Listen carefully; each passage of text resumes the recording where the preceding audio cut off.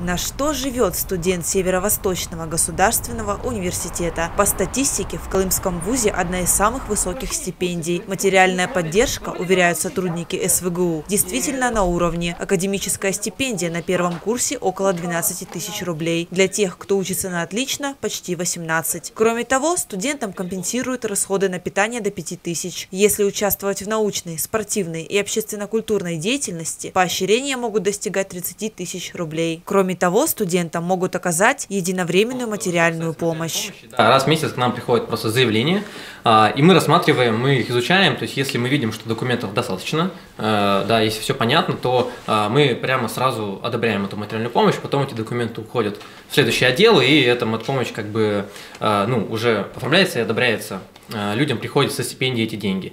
А, если документов недостаточно, например, мы можем лично обратиться к студенту, да, у нас есть председатели на каждом своем студсовете, э, на всех институтах и факультете. И это люди, которые специально общаются с этими людьми, узнают, если нужны документы, что-то донести, а если ситуация какая-то важная, такая чрезвычайная, то тоже это все решается. Решение об оказании материальной поддержки нуждающимся обучающимся принимает ректор университета с учетом мнения студенческого совета. Учащимся выплачивают именную и стипендию президента и правительства России. Кроме того, определенным категориям выплачивают социальную стипендию.